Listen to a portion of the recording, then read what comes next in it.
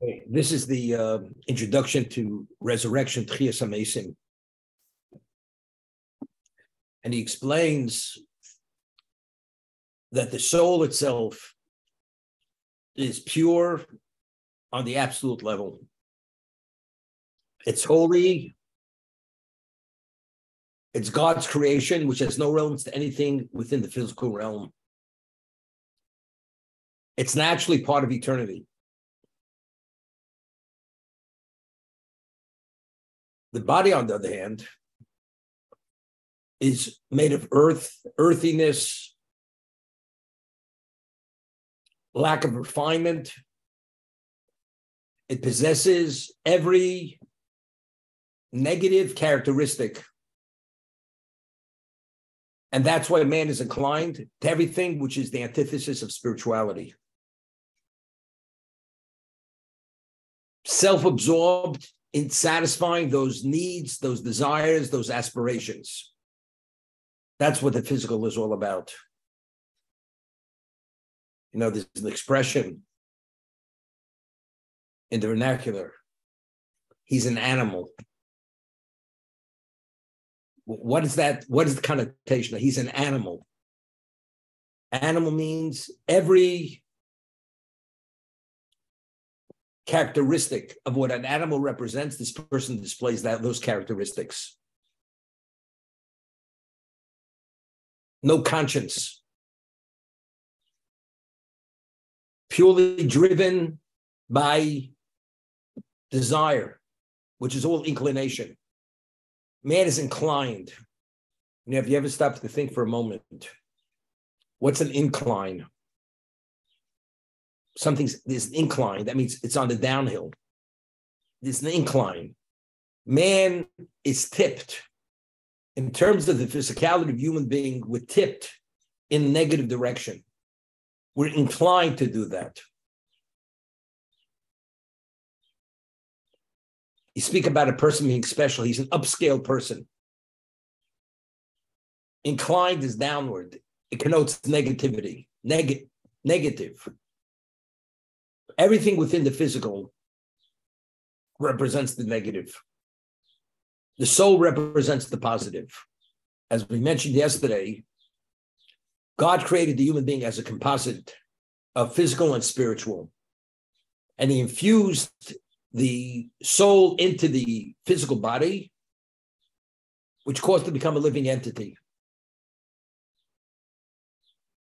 To become a living entity, if the objective is not to spiritualize the physicality and to refine and purify and spiritualize and upgrade the physical to the spiritual, it would have been enough to give the human being a life source as every living creature has a life source, no relevance to spirituality. Why did God have to infuse the human being with a soul? The soul being of such overwhelming level of holiness, the objective is to spiritualize the body. That if a person makes a sufficient amount of decisions, takes enough initi- initiatives in life through the study of Torah and through doing mitzvos, which are all acts of sanctification, the body will be elevated from the physical state to a spiritual state, although its makeup is physical. The example I always give on the, the temple on Yom Kippur, the Jews would gather on Yom Kippur, and the Beis Hamikdash had a finite amount of space. The Jews, when they were there to hear the service of Yom Kippur from the high priest, they would stand pressed together to the point that you'd be able to lift up your feet and you would not fall. That's how pressed they were. And they would hear the incantation of the name of Hashem by the high priest. Every Jew would prostrate himself, and there'd be enough room for full prostration.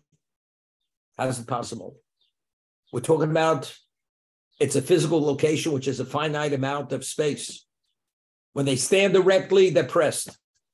When they hear the name of God being intoned by the high priest, they bow and they prostrate themselves. How's it possible? You realize the walls didn't expand. Because the whole concept of limitation only has relevance to the physical realm, not to the spiritual realm.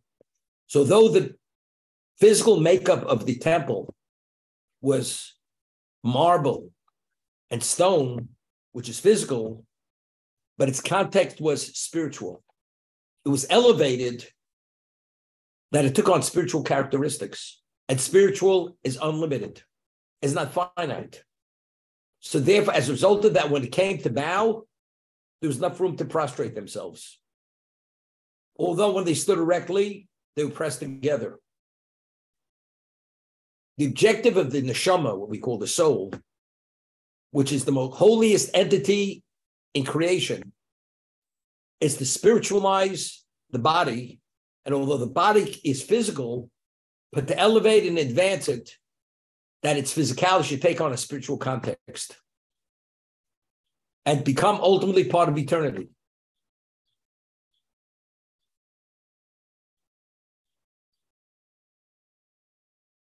Give you an example. When a person dies and he's laid to rest in the ground, what happens to the body? The body decomposes. The Torah tests to the fact that Moshe Rabbeinu, when he passed away, although he died, the Torah tells us that his vigor, his strength, did not in any way wane, even in the grave. Even when he died in the grave, not only did he not decompose, he had the freshness of a living human being. How's it possible? The soul departs, the body naturally decomposes like everything in the physical withers if it's no longer connected to the life source. Not only motion did he not wither, he re- retained all the freshness of a, a physically living human being. The answer is very simple because Moshe Rabbeinu, who passed away at the day he was born 120 years, on his 120th birthday, every moment of his life was fully invested in spirituality, says physicality was spiritualized. Spiritualized something that's spiritualized to such an extent is not subject to decomposition. It's not subject to withering. Because he met the maximum potential of he was fully invested that every aspect of his being was fully invested in the service of God. So therefore his context was fully spiritual. Didn't decompose. There's a famous story, you know, the Vilna Gaon passed away at the beginning of the 19th century, very beginning. And I think he was about 76 years old, maybe 74 years old. And he was buried in Vilna, in the cemetery in Vilna. And the Russians or the Lithuanians, they wanted to put a road there, and his body had to be exhumed to move the grave to another location within the cemetery. It was a known fact. The Vilna Gaon had passed away over 100 years earlier. When they took him out of the grave, he looked like a person sleeping. He did not deteriorate as much as an in the grave. How's that possible? Every other corpse, as it says in Pirkei Avos, your food for the worms and the maggots. Now, what does the maggot eat? What does the maggot nourish on? And the worms? Something that's physical, something that has a spiritual context. Although its makeup is physical, the maggot doesn't go near it and the worm doesn't go near it. Therefore, the body of the Vilna Gaon did not decompose, did not deteriorate. And they say the people were there he looked like a person was sleeping in the grave, fully serene, sleeping in the grave. That was Vilna Gaon. Because in his lifetime, he invested every aspect of his being to spiritualize it. So he elevated his physicality and brought it to a spiritual plane. And that's the objective of life. At Sinai, God gave us Torah mitzvos. The only way we're able to counter the evil inclination, we're talking inclination, meaning you're on the incline. How do you straighten it out and turn it upward? You know, it's interesting. It's known if a plane is nosediving, unless you pull it up real quick, it's going to go into the oblivion and disintegrate when it hits even into the ocean. You have to pull up that nose to level it, and then it's go upward. The body is inclined to everything corrupt, perverted. That's the natural natural inclination of the body. God gave us 613 commandments, 248 positive commandments. The one that encompasses the totality of everything is the study of Torah. The antidote to the evil inclination, to steady that course, to turn it upward, is the Torah itself. The Torah is the ultimate spiritualization that spiritualizes the body. It spiritualizes the physicality. It expunges it of that evil inclination. It's no longer inclined to evil. And that's why it brings about that ultimate level of spiritualization. We mentioned the text of the blessing before you do a mitzvah it says, Asher kidshonu b'mitzvosav.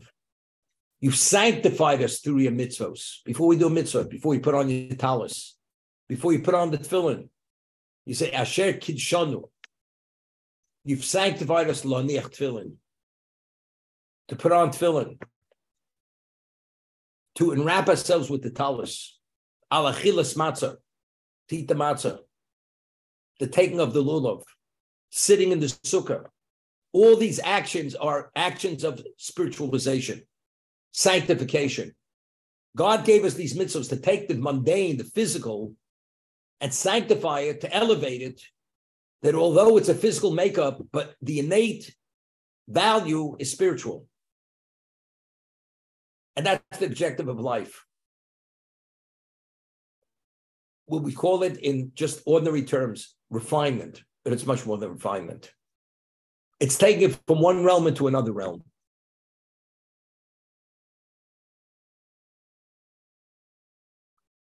A person who's a Torah scholar is not a Torah sage. In Hebrew, a Torah scholar is called a Talmid Chacham. How, what is that? It's not a person who's knowledgeable. It's a person who has the Torah the knowledge integrated in his life that, as we say in Pirkei Avos, it's lumina maslasos. We study to actualize it. The study, the information becomes part of our behavior. It becomes our lifestyle. It becomes our thought process. We live it, we breathe it, we act it, we sense it. So, what was in place of our emotion before we have human emotions. But what is the temperament? The temperament's a different temperament.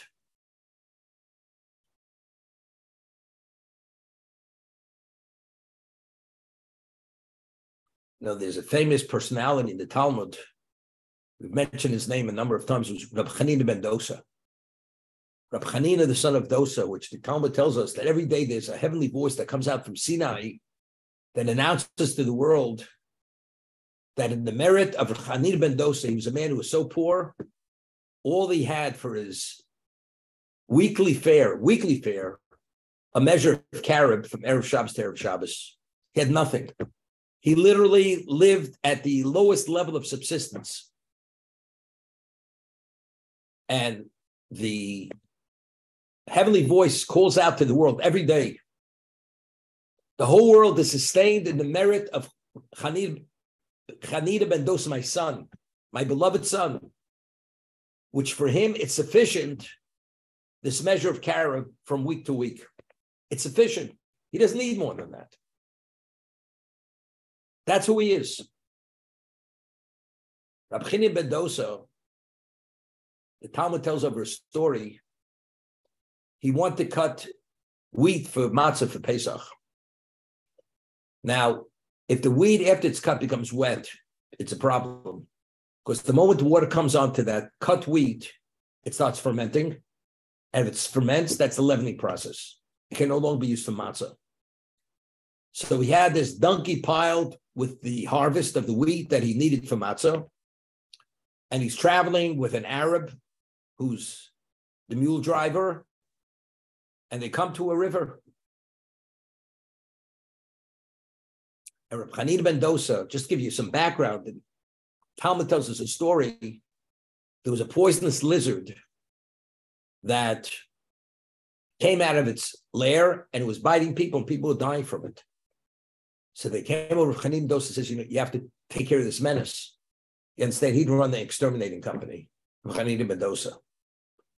So he says to the people, "Just show me where its hole is in the ground." So so what did he do? They show him exactly where, where it comes out of the ground, and he takes his foot and puts it over the hole. And what happens? And this poisonous lizard bites Reb Chanina ben Dosa. And after bites Reb Chanina ben Dosa, the poisonous lizard dies. So Reb Chanina ben Dosa takes this large lizard, puts it on the shoulder, parades through the city, and says, It's not the lizard that kills, it's the sin that kills. And they said, they used to say, woe to the person who met up with this lizard, and woe to the lizard that met up with Reb Chanina ben Dosa. That's what they used to say. Meaning, when this lizard bit this man, although he was a human being, when you bit into him, you didn't bite into a regular person. He bit into a piece of holiness. Therefore, that lizard cannot tolerate that holiness. Therefore, it died. So Rabbi Hanina comes to this river. So it wasn't a miracle he didn't die. His makeup was a different makeup. He had a spiritual makeup, although he was a physical human being. He comes to this river and he has this donkey laden with wheat, and he has a problem because if the donkey wades through the river, the wheat gets wet, becomes wet, can't be used for matzah, and he has an Arab with him. So he goes to the river. He says, "River split." The river doesn't split. He says again, river split, I have to go through. The river splits, he goes through with his donkey and the wheat, but his Arab attendant was left behind. And Rabbi those, those needs his Arab attendant to accommodate him to be, he's the mule driver. So the river meantime flowed as normally flows. So Reb Chanina ben Dosa says to the river, river split for the Arab attendant. Doesn't split. He says, I say split, and if you don't split, I will decree on this location, water shall never flow ever again. Reb Chanina ben Dosa. What happens? The moment he says that, the river splits. The Arab goes across. His sister Reb Chanina ben Dosa transporting the wheat on the donkey, on the mule. Is that a miracle? He performed the miracle. Did he have to do some kind of incantation? Some Kabbalistic incantation which he caused the river to split? The answer is no. Why did God create this world? For one purpose. This is the so called the playing field for God's glory. And if you're one of God's soldiers and you represent him in every aspect of your being, the river, nature is meant to accommodate this kind of person. That's what nature was created for. It's only natural because people don't behave as they should behave. We behave as physical beings. But if we would behave as spiritual beings, nature would be bound to our behavior to accommodate us. But it's only because we live within nature, which is purely physical, and we allow physical to dictate our lives. Therefore, nature, we're bound to nature. Nature is not bound to us. Rabbi ben Dosa, he spiritualized this. He was a spiritual person. He had enough, a small measure of carrot. From Erev Shabbos to Erev Shabbos, the whole world is sustained in his merit. He has barely, he has nothing to eat. The world is wallowing in wealth and bounty in his merit. The river is not meant to in any way interfere or infringe on Reb Chanin Dos's movement. It's created to accommodate him. And if it doesn't, it doesn't exist. And that's what he says I will decree water should never flow on this location again. I always mention the Rambam in the Laws of Tshuva writes that every Jew could be as great as Moshe Rabbeinu. We just said Moshe Rabbeinu did not decompose in the ground. Moshe Rabbeinu radiated holiness, as the Torah attested as fact. Moshe Rabbeinu spoke openly, face to face with God. Do you think God will speak to us? So what does it mean? Every Jew could be as great as Moshe Rabbeinu. What was Moshe Rabbeinu's accomplishment? Every Jew has a potential. We can't be more than what we're meant to be. But whatever we're meant to be, if we achieve that level of accomplishment, we're no less than Moshe Rabbeinu. Moshe Rabbeinu's claim to fame was that whatever his potential was, he met every aspect of that potential. Therefore, he was Moshe. If we meet every aspect of our potential and do not fall short of that potential in terms of the effect of our decisions, our initiatives would have the same result. You can't be more than God allows you to be. But that's the objective.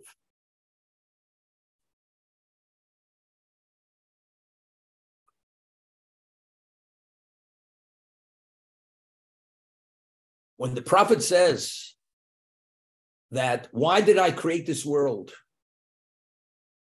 The prophet says, name of God, I created this world for my glory, for my glory. We've been speaking all along. God created this world that man should be a beneficiary of God's goodness. What does that mean for his glory? Meaning, if you live your life and take initiatives and invest it in God's glory, then you merit everything. The ultimate objective is you should be a beneficiary. But to achieve that, to be the beneficiary, you have to take the physical and spiritualize it by utilizing your life for God's glory. And that's why a person who gives his life to sanctify God's name, that's the ultimate glory. There's nothing more precious to a human being than his own life. And if you're willing to give your life when God says you should give your life, although you have the you have the choice not to give your life, but despite that you do give your life, that means you're giving every aspect of your existence to God. That's the ultimate level of spiritualization. That's that's called you die Al Kiddush Hashem, and that's what we say in the Shema. You should love God with all your heart, with all your soul, with all your possessions. That's all every aspect of your being.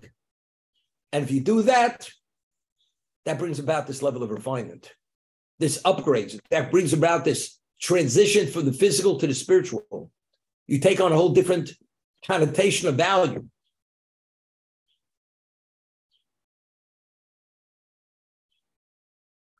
You know, the Talmud tells a story. One of the great rabbis of the Talmud, he was known as Abaye. Abaye was his name, and he had a colleague by the name of Rava, Rava Abaye. And Abaye was one of the great Torah, sage, Torah sages of the Talmud. And he hears a man and woman. She was a married woman. And he, he overhears a conversation that they're going to rendezvous in the swamps, in the marshes, and they're going to commit adultery. Yeah. So goes, and the two of them they start walking into the marshes in this secluded location, and they're going to commit adultery there. And Abaye he trails them into the marshes to see what's going to happen. And he's hiding behind a tree, and he hears the man saying to the woman or the man woman saying to the man, you know, doesn't make any sense. not going to commit adultery. If this is what it takes to commit adultery, it's not worth it. Can't complicate our lives with this. I'm not interested. I'm not going to cross that line. It's too complicated. Every time we want to have relations, sexual, we have to go into the marshes. We're not going. And they backed away from it and they went home. It never happened. Abaye sees this, and immediately he's overtaken by a, a sense of inadequacy because he feels that if he would have been put in this moment of temptation, he doesn't think he could have resisted the temptation. And here you have these two ordinary people, they're able to resist it. And he, this great Torah sage, he's not able to resist it. So he comes back and he comes back to the study hall, he's outside and he's sulking. Nobody knows why. So his colleague says to him, Rava, what are you sulking about?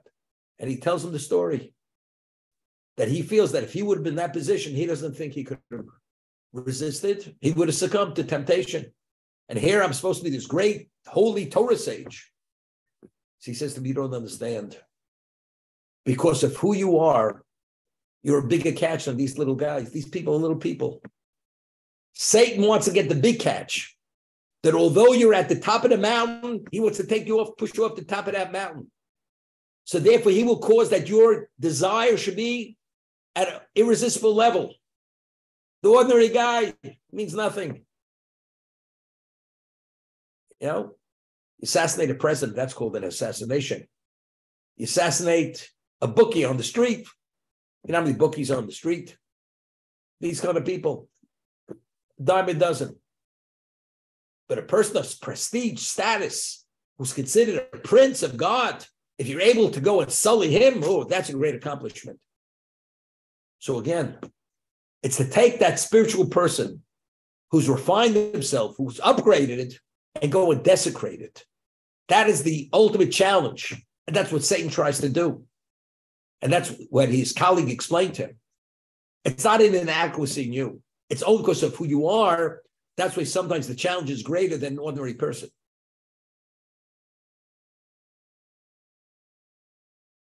I'll tell you, it's very interesting. It's a rule of thumb, and this very, and it's what life's all about. God brings merit to the meritorious. An ordinary person doesn't merit special merit. And let's say there's a certain opportunity that you can make a difference in the world, on the world scene, or in a very significant way. Do you think God is going to allow an ordinary person to do this? You have to have special merit to have merit. If you don't have sufficient merit, God will not put you in that driver's seat. A person who has that merit, understand, when you know you have that ability and you want to do something, Satan's always there to trip you up. Because if you trip up and you do something wrong, God forbid, you become disqualified because you're no longer meritorious. God brings merit to the meritorious. But if he somehow, God forbid, should trip you up that you should do the wrong thing, you're no longer meritorious. And if you're no longer meritorious, you can't bring about that result that you could have brought about. You know, during um, the 10 days of, of repentance, every day we say Avinu Malkeinu, or on the fast day we say Avinu, our Father, our King. And we say certain things and we make requests. And during the the 10 days of repentance, we say, Kosvenu, write us into the book of this, the book of that. Or during the year, we say, remember us for that. And we say, Kosvenu b'sefer hazchuyos. Inscribe us in the book of merit. What's the book of merit? Being inscribed in the book of merit means that you can be one of the meritorious ones. If you're in the book of merit, God will use you as the vehicle to bring about merit, which is a tremendous thing, which is not so simple. But even if you're inscribed, you can be disqualified. And Satan tries to do that.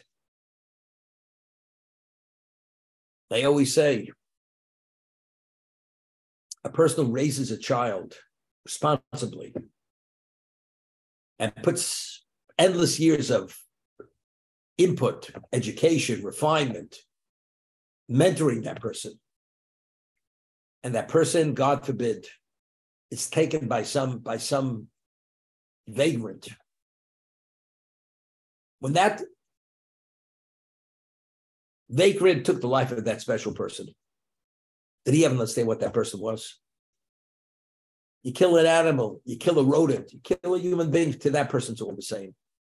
But God forbid to the person who raised that child and mentored that child and understands the value of the child and the potential of that child, the loss is not to be imagined.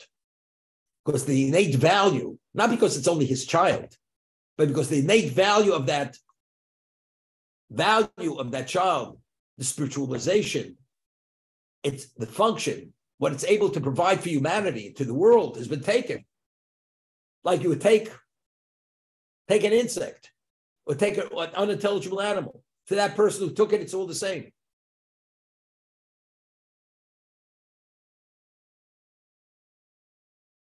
How do we know the Jew himself has that ability to bring about that level of transformation within him?